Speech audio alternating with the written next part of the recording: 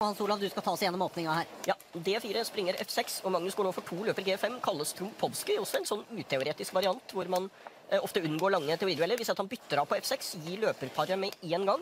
Eh, det er et kjent tema i Trompowski. Eh, hvit eh, gir fra seg løperparet. Eh, sort får litt svekka bondestruktur her med to F-bønder. Eh, Hva tror du er viktigst av bondestrukturen og løperparet her, Gøran? Jeg ser på den åpne tårnlinja, jeg. Huff, da. G-linjen. Eh, Så derfor mener du sort står best? Nei, men jeg Jeg, jeg, eh, jeg, jeg syns den sorte stillingen har veldig sånn interessant dynamikk i seg, men, men ja. Det er lat det sort ligger etter i utvikling fra start, men det er veldig latent energi i den stillinga med det løperparet og også den G-linja som du er inne på.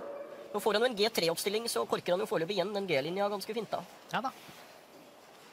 Eh, Men det er rett og slett en stilling med ubalanse og sjanser for begge spillere. Det er komplisert, og Ivanchov kommer til å bruke mye tid. Hvor mye har Magnus sett på resultatlista før han går i gang med det partiet her? Vi merket jo i går at han var veldig ivrig til å få tak i resultatlisten eh, turneringslederen hadde med seg. Han følger nok med.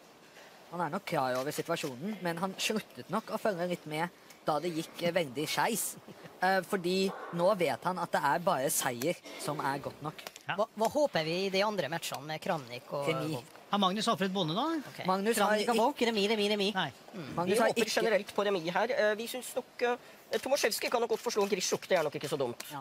Uh, Vent, der mistet Magnus en bonde. Nei! Han ofrer eh, litt, kanskje? Den der, der røk det en ganske viktig bonde for Magnus. Jeg synes uh, Ivanchuk har spilt veldig fint hittil. Magnus får tilbake bonden, så han ble ikke stående bonde under veldig lenge. Og her er det nok et taktisk triks på gang. At hvis nå man slår ut hesten, så kommer dronningen opp og skaper en mottrussel mot tårnet i hjørnet. Det var bra du sa, for jeg fikk litt hjerte i halsen. Jeg merker merker er hver helt i kjelleren. Ivansjuk ligger under to minutter nå. ligger under to minutter. ja, han er H5. under to minutter på klokka, var det Mats. H5 han er- fra uh, Ivansjuk. Typisk, typisk uh, Gjøran-trekk.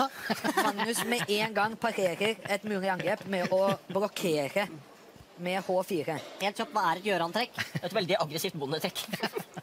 Eh, til eh, angrep med randbonde mot kongestillinga til I beste fall tveget, kan du si. Det fine med Jon Ludvig sine kommentarer når han sier at Magnus har tapt en bonde, så sier umiddelbart Gjøran at han har ofra en bonde. Så her jeg ser vi at de bytter en bonde, men det er noe så. Det her, hvis vi konsentrerer litt på partiet Ivanchuk står mye, mye bedre. Han har et løperpar. Eh, veldig gode løpere.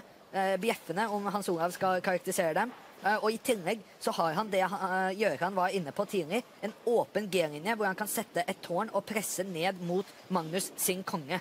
Hvis Magnus skulle finne på å bytte av dronninger, så er det bare total overlegenhet for uh, Ivanchuk. Men hvis Magnus ikke prøver å bytte av dronninger, så er det stor sjanse for et farlig angrep. Men henger ikke løperen nå?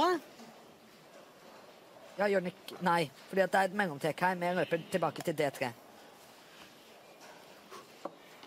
Så da er det bare et bondeoffer? Ja.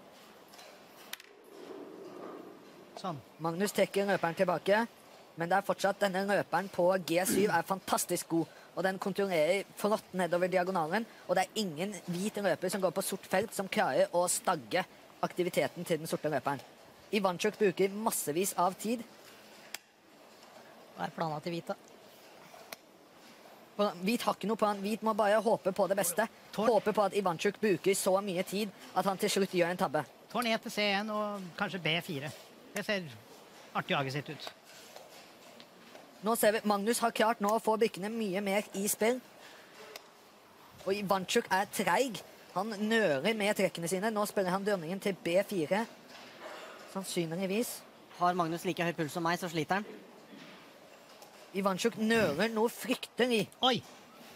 Ivanchuk går til Nei, han slår ut en bonde! Oi, Ivanchuk fint. slår ut en bonde. Det er store angrepssjanser til Magnus nå. Ivanchuk er veldig modig, slår ut en bonde, åpner opp nedover, sånn at Magnus kan angripe ned denne A-linjen. Men Magnus har ikke noe konkret. Han går tilbake, han går fremover med dronningen. Den kommer ikke til å klare å få til noe spesielt. Jo, Jo, jo, jo. han fikk åpnet opp.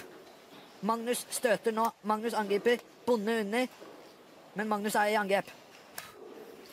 Ivanchuk prøver så godt han kan å holde stillingen lukket. En computer ville knust Magnus i denne situasjonen, men Ivanchuk med 20 sekunder igjen 21. Det er helt åpent. Nå må du flytte, Magnus, for Magnus. å presse på tid. Har kamp på alle toppordene, som det ser ut.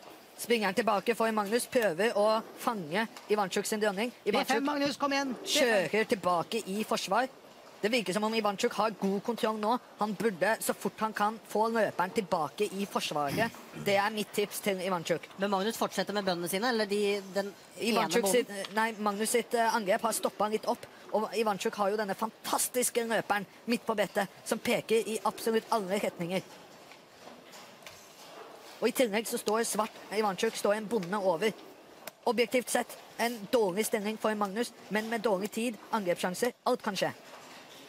Ivanchuk er nede i 13 sekunder for å få to ekstra ved at han trykker på klokka. Magnus kjører nå for tårndobling. Tårnet kommer opp. Ivanchuk plasserer enda en løper inne i stillingen. B5 ser ikke nødvendigvis så veldig godt ut. Magnus prøver å gå etter en bonde.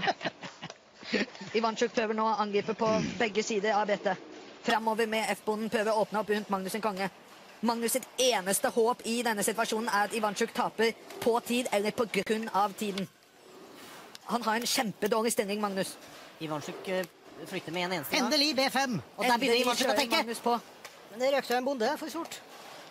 Kramnik har vunnet en smoke. Begge spillerne angriper. Begge spillerne angriper. Magnus har et kjempeangrep. Ivanchuk har et kjempeangrep. Se på tårnet til Ivanchuk som peker nedover mot Magnus sin konge. Det ser litt Han har fire sekunder igjen! Han har tre sekunder igjen! Og Og han offer, han offer, han offer en eh, må Magnus gi dama, eller hva skjer? Nei da, bare slå på E E7. Ivanchuk offer. Og Ivanchuk har bare Ivanchuk gir en sjakk. Ivanchuk gir sjakkmatt. Hæ? Jeg skjønner ikke hva det som har skjedd. Jo, det er sjakkmatt på G3. Ivanchuk med bare sekunder igjen på klokka